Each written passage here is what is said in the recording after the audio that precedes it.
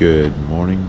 It is December 17th, 2020, about 16 degrees Fahrenheit outside. Time to go for a run. Today's run is inspired and motivated by Ensign Harry Belknap, MIA 1966. Thank you for your service and sacrifice, sir. All right, pretty good run today. Short five miles at about a nine minute pace, just nice and easy. I included a nice little tumble on the road, but no marks from it, so not a good enough one. Have a great day. Find what motivates you.